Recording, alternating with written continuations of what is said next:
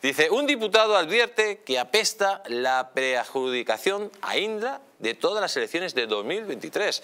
Atención, que seguimos con el diputado Pablo Camorenero, que advirtió que apesta la preadjudicación que el gobierno de Pedro Sánchez realizó a Indra para que sea la encargada de la gestión y difusión de las elecciones previstas para el 2023, autonómicas y generales.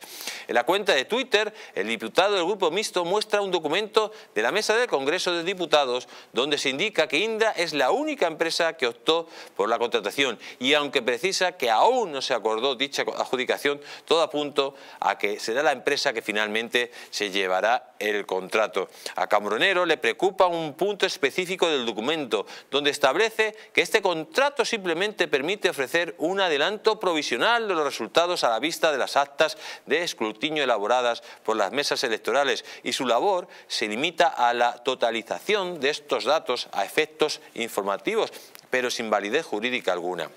Atención, porque lo que pretende Sánchez según este diputado y según lo que vamos a contar ahora, es reventar las generales. En octubre del 2022, Juan Carlos Girauta denunció que el barómetro del Centro de Investigaciones Sociológicas a favor de Pedro Sánchez formarían junto al asalto a Indra parte del plan para reventar las elecciones generales. En concreto, publicó en su cuenta de Twitter que dado los síntomas autocráticos y la grosera manipulación del CIS, es especialmente preocupante la entrada del presidente de Prisa, el extraño amigo de Sánchez en Indra. La empresa encargada de los recuentos tiene mil formas de reventar unas elecciones, incluso sin pucherazo. Dice el ex de Ciudadanos, hace referencia a Joseph Or William, quien irrumpió en junio de 2022 en el accionariado de Indra con un 4,1% del capital, lo que le convierte de forma inmediata en el cuarto máximo accionista de la compañía. Es importante recordar que el empresario armenio es uno de los principales aliados del líder del PSOE a nivel mediático. Desde el español advierten que ambos mantienen una interlocución directa y que se reúnen en al menos cuatro ocasiones durante los primeros seis meses que Sánchez llegó a la Moncloa. Dice Girauta que por primera vez cree que existe el peligro, no del pucherazo, con sembrar dudas en provincia, retrasar resultados en ciertos momentos. Indra puede provocar que la gente se eche a la calle. El PSOE ya reventó una jornada de reflexión. ¿Por qué iba a respetar esta jornada electoral? Insistía el exdiputado. Pues ahí lo tienen ustedes, amigos. Se lo estamos, lo estamos anunciando por activa, por pasiva. Cuando luego pasa, dicen, ¿Cómo pasan estas cosas? Pues pasando. O sea, es que el manual de todo buen pucherazo comienza por el control del CIS, continúa por el control del correo, continúa por el control de la empresa que va a contabilizar los votos. Y luego, eh, ese puchero, después lo dejamos cocer bien y sale el resultado. A si ustedes se creen que Tezanos hace esas encuestas tan absurdas que no tienen ni pie ni cabeza porque es tonto. No, no, no, no, no. Tezanos tiene un plan bien marcado el minuto uno.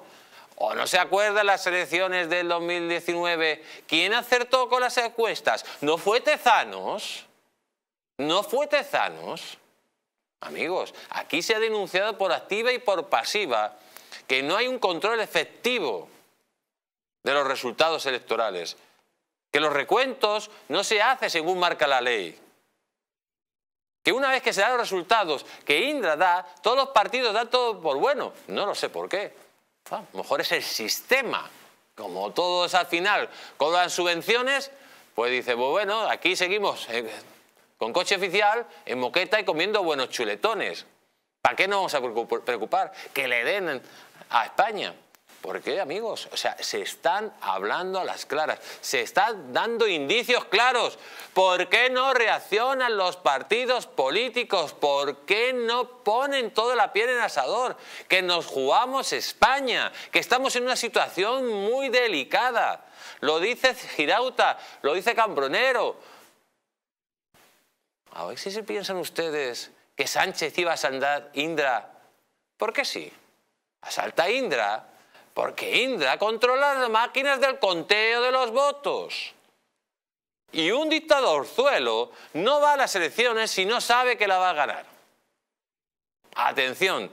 Y por eso hay que dejarse de circos, de circos, de historias raras, de experimentos raros, de peleas entre unos y otros, porque aquí hay una cosa que se llama España y está en juego.